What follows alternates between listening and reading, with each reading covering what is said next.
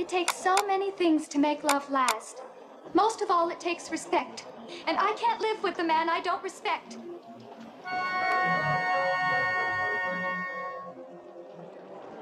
What a pisser.